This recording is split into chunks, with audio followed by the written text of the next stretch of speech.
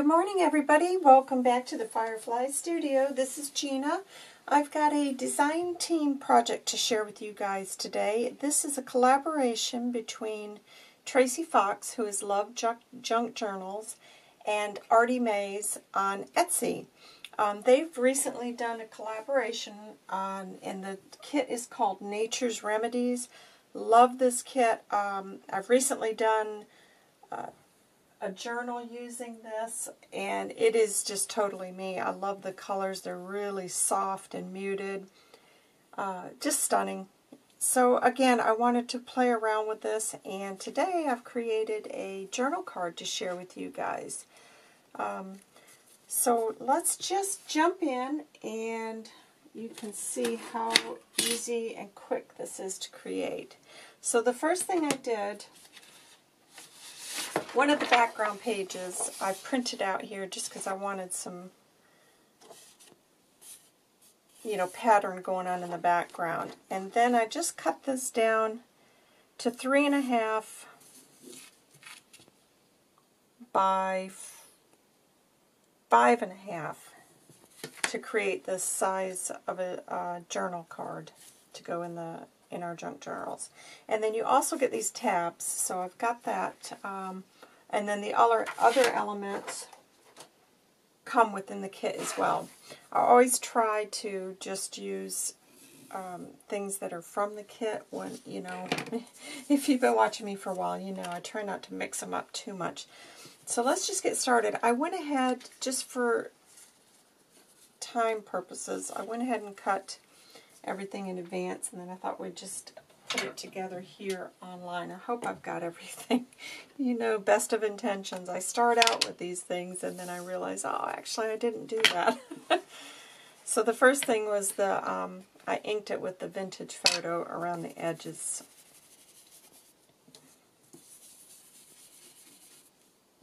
I hope everybody is doing well and staying healthy.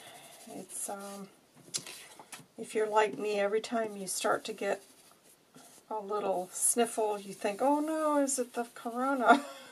the corona crap is what I call it. oh, I'll be so glad when this is over, but I know everybody will. It's It's been challenging.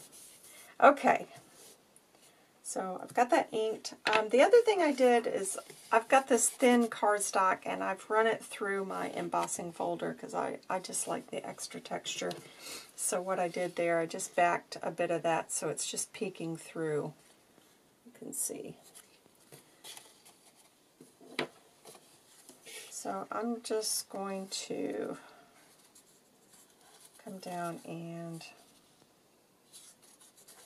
tear a little bit of that because most of it's going to be covered. I just I think it's really nice to have some things just kind of showing through. Now I'm just going to ink that.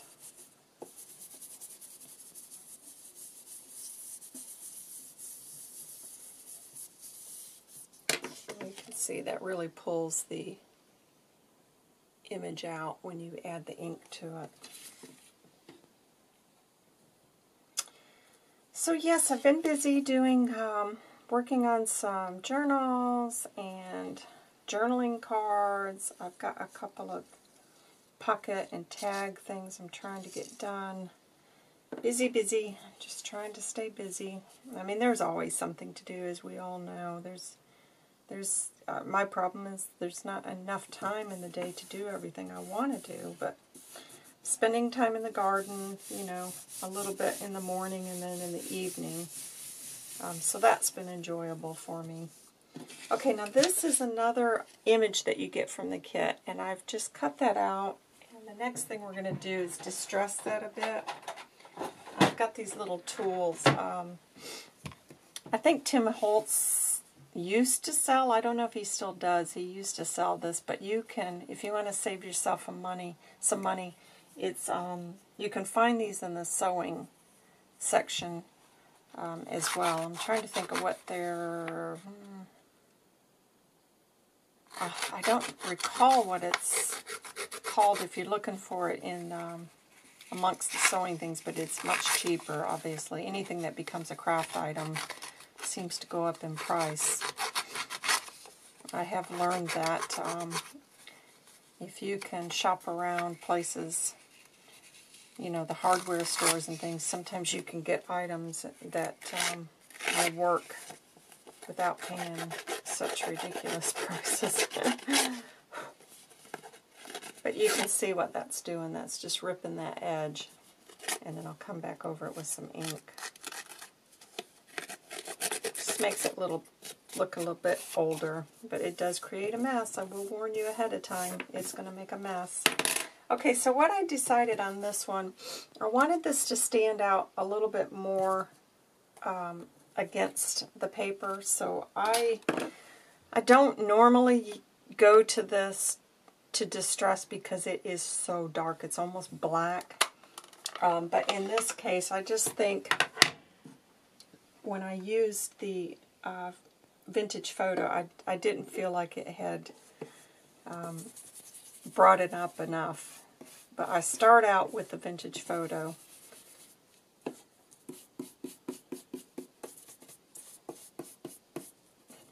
And do the corners because we're going to round a couple of them. And then now I just very, very lightly I put some of that espresso on there because you can see it almost becomes black. And as I said in a couple of videos ago, it does seem like I'm going further and further towards the grunge. And I don't know what's happening in this studio, but... and then I'm just going to roll those edges over a little bit. Now you can take a, um, a pokey tool and use that if you, if you want to. And you, you can also glue it down, but I'm not going to because I'm not that, you know, if you want it to stay like that, you can add a little bead of glue, but I'm not going to do it. Um, just going to have it just rolled over a little bit. Okay, so let's see, I've got that. Now the next thing is, for this, because I've got a little bit of yellow, I've got this kind of a straw colored Irish linen thread. Absolutely beautiful. It's slightly different to my natural, so I've opted to use that. And I'm just going to double it up so I've, I've got a nice little bow there. Don't want to get too much. I never know how much to cut, so I sometimes end up having to take a little bit off, but I never waste it. I always just save it and use it in my little buttons and things.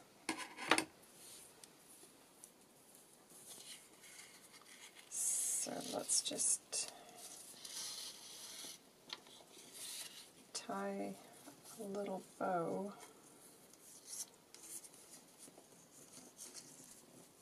I do love this kit. It's um, There's a lot of elements in it because it's a collaboration between the two ladies.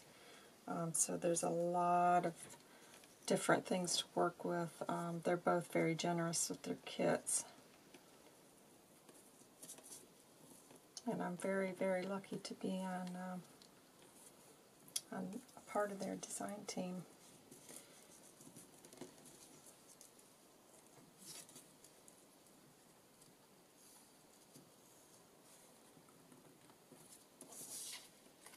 Okay, now I'm just going to snip a little bit of that off. Okay, at this point I am just going to go ahead and glue that down.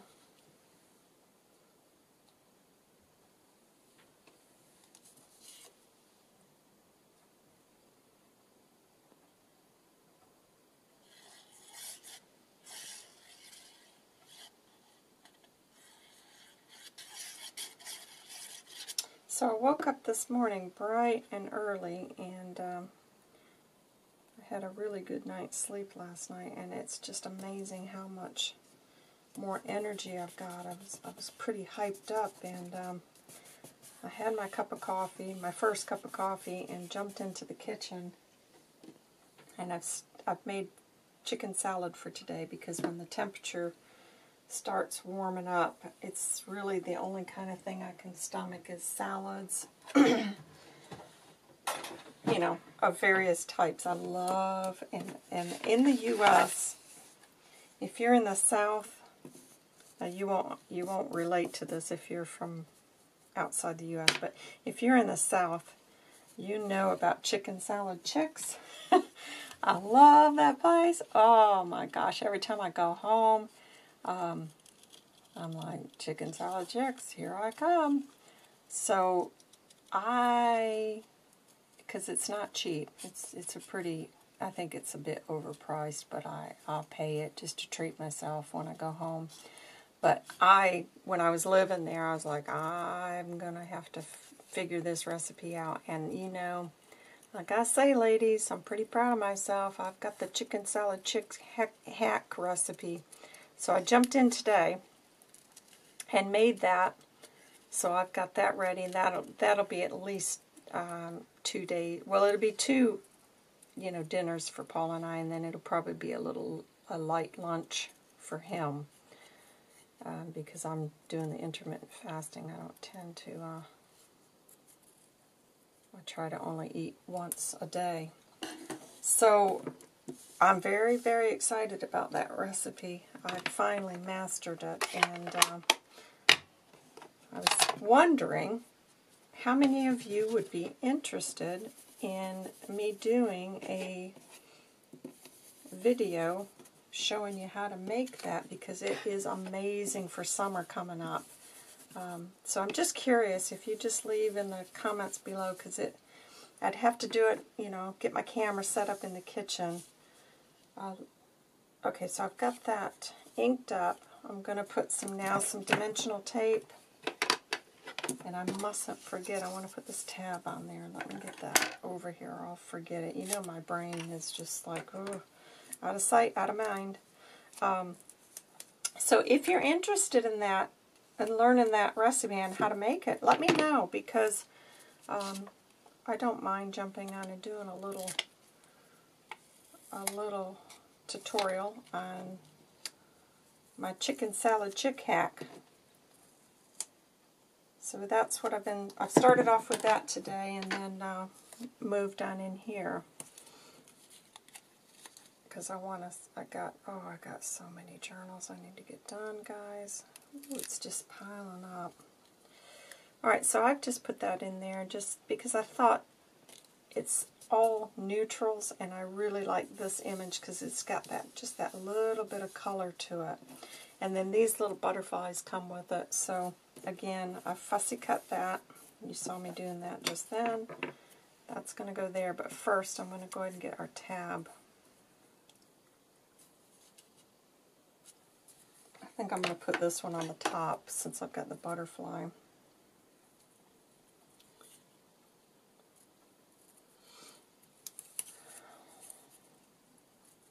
Oh, and I'll tell you something else I tried uh, the other day. I don't know how many of you are on keto.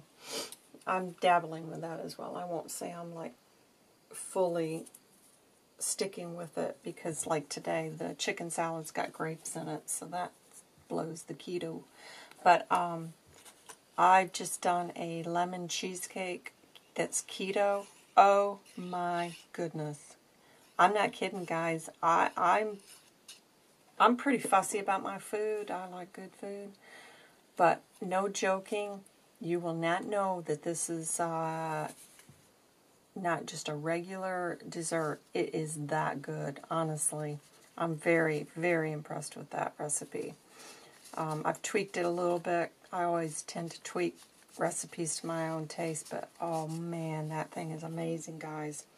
And I hate to say it, the whole, it was an 8 by 8 and Paul and I have wiped that out in three sittings. so uh, now you know why I got to be fasting all the time, because when I do eat, I always overdo it, always. But um, yeah, that was an outstanding recipe. Okay, so I'm going to put that there. Oh, the other thing is there's this little, Let's see where I did that. I'm sure I cut that out.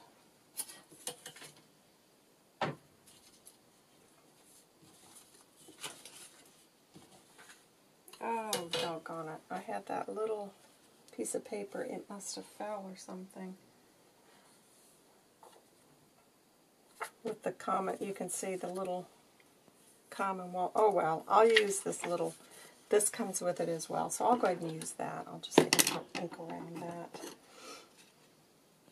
So yeah, that's what I've been doing so far this morning, and uh, got a couple of videos I've got to complete, and like I said, a few, I just got, well, I've got more than a few journals to do, but oh, it's just little by little, little by little. So I'll just put that one there. Um,